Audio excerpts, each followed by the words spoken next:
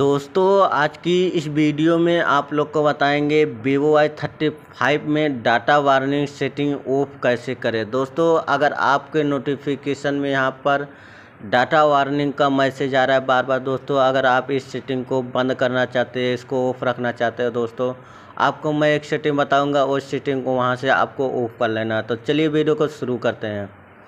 दोस्तों, सबसे पहले आपके अपने मोबाइल में सेटिंग ओपन कर लेना इस तरह से। जब इस तरह से आप सेटिंग ओपन कर लेंगे, आपको कुछ इंटरफेस इस तरह से देखने के लिए मिलेंगे। तो दोस्तों, आपको यहाँ पर नीचे एक ऑप्शन मिलेगा नेटवर्क इंटरनेट का ऑप्शन यहाँ पर इस ऑप्शन पे आपको क्लिक करना है। जब इस तरह से आप क्लिक करेंगे दोस्तों, आपके पास कुछ इंटरफेस इस तरह से देखने के लिए और मिलेंगे। तो दोस्तों, आपको यहाँ पर एक ऑप्शन मिलेगा सिम कार्ड मोबाइल नेटवर्क का ऑप्शन यहाँ पर इस ऑप्शन पर आपको क्लिक करना है। जब यहाँ पर क्लिक करेंगे दोस्तों, आपको कुछ इंटरफेस इस तरह से और देखने के लिए मिल जाएँगे। तो दोस्तों, आपको यहाँ पर ध्यान देना है, आप जिस डाटा यहाँ पर डाटा यहाँ पर मेरा जो कि चल रहा है सिम वन पे। तो दोस्तों, जब सिम पे मेरा डाटा चल रहा है तो आपको सिम वन पे ही डाटा वार्निंग आएगा। तो दोस्तों, मैं यहाँ पर सिम वन पे क्लिक करूँगा। यहाँ पर सिम वन पे डाटा मेरा वार्निंग आता है। अगर सिम मैं यहाँ पर सिम टू सिलेक्ट करूँगा तो मेरा यहाँ पर सिम टू पे डाटा वार्निंग आएगा।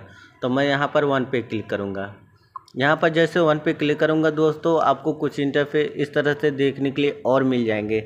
तो दोस्तों, वीडियो को हमारी बिल्कुल स्किप ना करें। वीडियो हमारी पसंद आए like comment share and channel को सब्सक्राइब ज़रूर करें।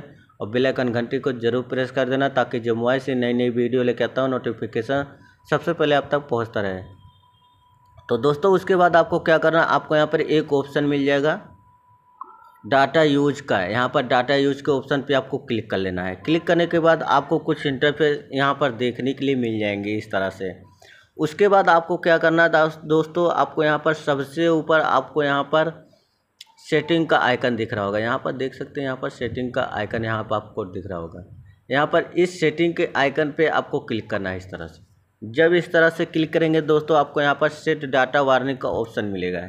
यहाँ पर इस सेटिंग को यहाँ से इस तरह से बंद कर लेना। जब बंद कर लेंगे दोस्तों, अब मैं नोटिफिकेशन में अपने देखता हूँ यहाँ पर मेरा डाटा वार्निंग नहीं आ रहा। है दोस्तों, अगर मैं इसको फिर से इस तरह से ऑन कर लूँगा तो फिर से यहाँ मेरा पर डाटा वार्निंग आने लगेगा। दोस्तों, इस सेटिंग को यहाँ से आपको ऑफ़ ही कर लेना है। दोस्तों, अगर हमारी वीडियो आपको पसंद लगे तो like comment share and channel को सब्सक्राइब करें।